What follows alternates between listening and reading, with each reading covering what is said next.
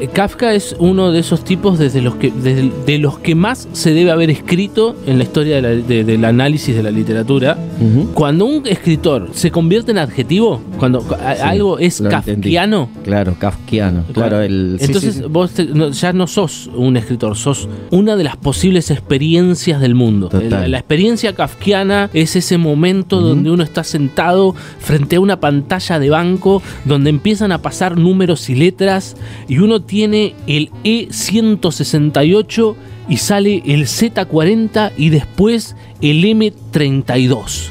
Y vos no entendés si en algún momento va a salir tu número, si, qué orden tiene eso, si es un orden numérico, alfa- alfabético. Encima, viste, es, eh, y, eh, eh, esa situación de espera e incertidumbre llevada al absoluto extremo es, la obra de Kafka.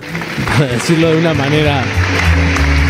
eh, no, o sea, de hecho... el- Sin el- palabras. el castillo no termina. El chabón nunca llega al castillo Claro, porque el chabón no sí. terminó la obra, pero aparte no puede terminar porque se trata de eso, ¿no? De. Por ahí lo mejor para entrarse alguna vez, decís, ah, me gustaría leer", los cuentos. Los, Los cuentos, cuentos. de Kafka están re bien, son re legibles.